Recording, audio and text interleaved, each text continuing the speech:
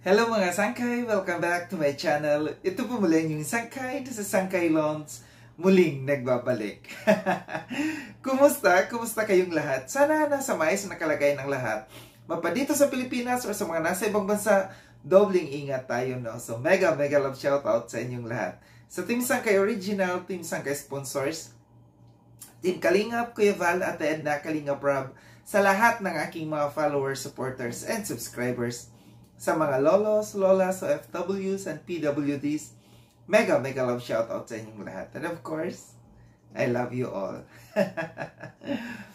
Ngayong araw na ito mga sangkay, uh, may pag-uusapan tayo. No?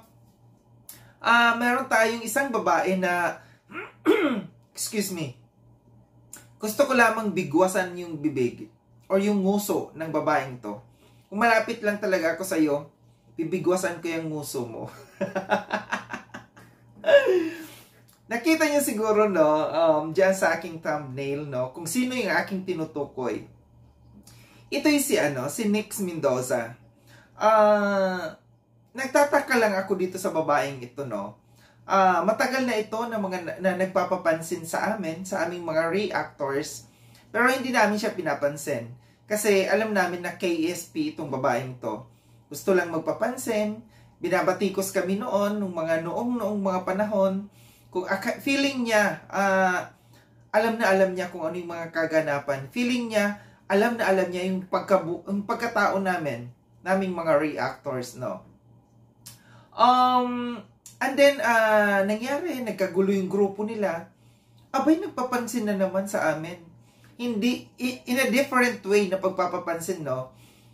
Na nafe-feeling close sa amin sa totoo lang, nung nababasa ko sa may mga uploads ako noon, na nagko-comment siya doon, na feeling close kami, feeling niya siguro ano, um, natutuwa ako sa kanya, na porkit hina-heart at nila-like ko yung ano, yung kanyang comment. Hoy, babae, hindi kami mga tanga, no?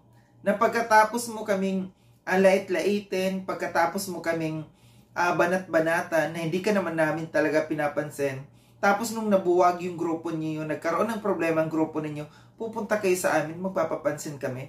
Kapal ng mukha mo. Kung makapal yung taba mo, no? Ganon din kakapal ang mukha mo, no? May pa comment-comment ka pa sa mga uploads ko, no? Na feeling mo magka, magka-close tayo. Feeling mo uh, matutuwa ako sa iyo. Mo lang alam, nasusuka ako pagka ano, may comment kang na, na akong nababasa sa comment mo. So, nangyari yung ganito nung mga nakarang araw. Hindi ko na sana ito papansinin, no? Um, nandoon yata siya sa live. Na, though nabanggit ito kagabi ni My Loves Dindo Balyaw, no? Sa kanyang, uh, sa kanyang live. Uh, nandoon ito uh, siya sa live ni uh, Mr. Lac... Iwan ko anong apelyido. Basta, Lacalle or la calle or or yung literal na kalye. uh, Mr. Gala sa kalye. Mr. Basura sa kalye. Basta yung nasa kalye. yung ano, yung may pleba sa kalye.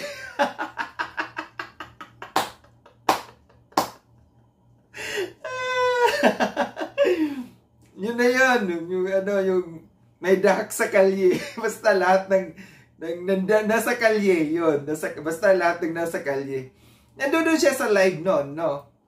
Nag-comment siya. Uh, nag-comment siya regarding sa akin.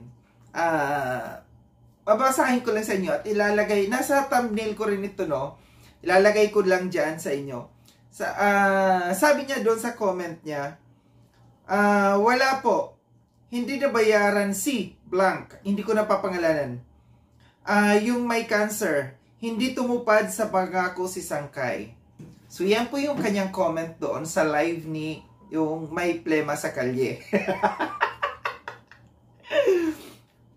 Excuse me lang, uh, matanong ko lang sa iyo, ano, Nix Mendoza. Gaano mo ako kakilala? Gaano mo kakilala yung tao na uh, yung meron kaming ano, uh, agreement ng tao na yon. Alam niyo lahat to, yung nangyari sa akin, no? Yung sa, kasi, ganito, mahirap kong bigkasin yung mga pangyayari kasi, uh, itong Nix Mendoza na ito, kuda ng kuda na walang kinalaman. Ito yung, ito yung tao na walang kredibilidad kung tawagin, no? Nagpapalaganap uh, ng fake news na hindi niya muna inaalam kung totoo yung kanyang sinasabi, kung may katuturan yung kanyang sinasabi o wala. No? Ito lang ang masabi ko sa iyo, ano, uh, Nix Mendoza, lampaso ka ngayon. Pahiya ka ngayon sa mga pinagsasabi mo, no, doon sa live ni yung may plema sa kalye. Ah, uh, alam niyo mga sangkay, hindi na sana ako magsasalita dito, no, kasi mayroon kaming kasunduan.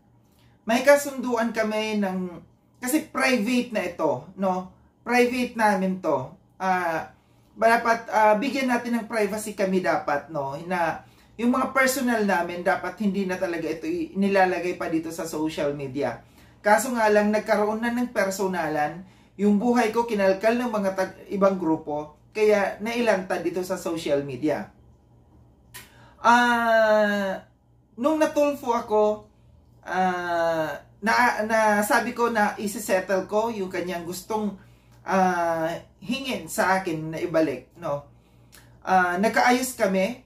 Kaso nga lang ang nangyari kasi, pasensya na dito, hingi lang ako sa pasensya dito sa ano no, sa tao na kausap ko yung involved dito sa problemang ito. Pasensya na kung natakil ko ito kasi uh, gusto kong linawin sa mga tao yung totoong pangyayari. Kasi ginagawan ako ng kwento dito ng mga tao na hindi naman nila alam kung ano yung totoong pangyayari.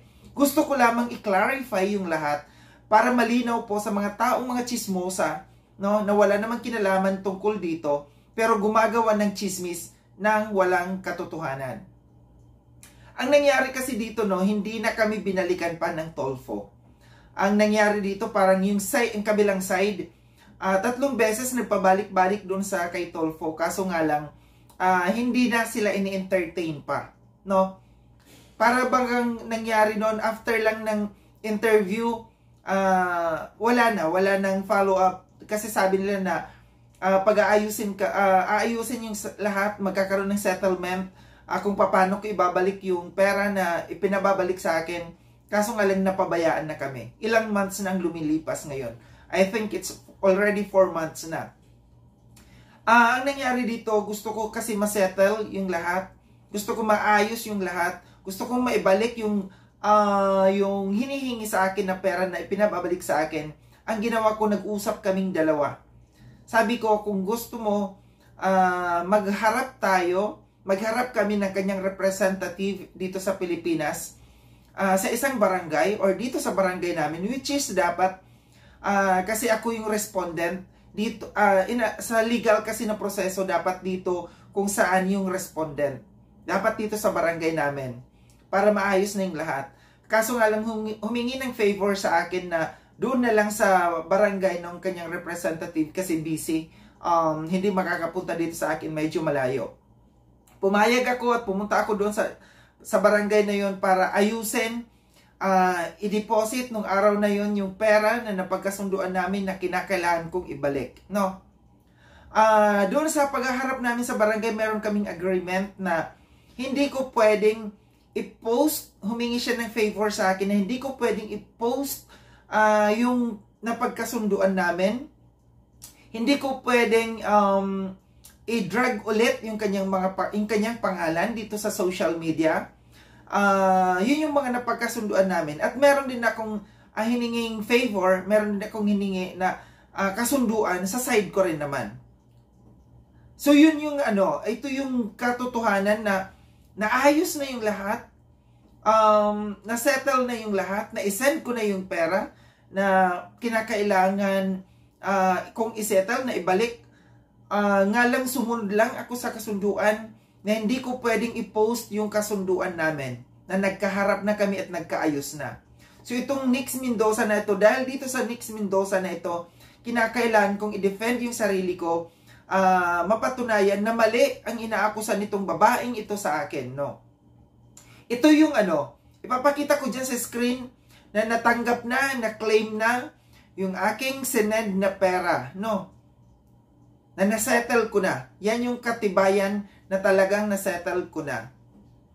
So itong Nix Mendoza na ito, ikaw Nix Mendoza ha, uh, umayos ka sa iyong mga pinaparatang sa akin. Huwag kang kuda ng kuda dyan ng walang basihan. Uh, mayroon ka lang maisabi dyan. Mag-feeling uh, ano ka lang entitled sa mga pinagsasasabi mo. Kapal ng mukha mo. Huwag mo akong pagbintangan ng pagbintangan na wala kang alam. Fake news yung mga pinapalabas mo at paninira sa akin yung ginagawa mong yan. So malinaw po ang lahat mga sangkay no na itong Nix Mendoza na ito walang credibility itong babaeng ito sa kanyang mga pinagsasabi laban sa akin. No?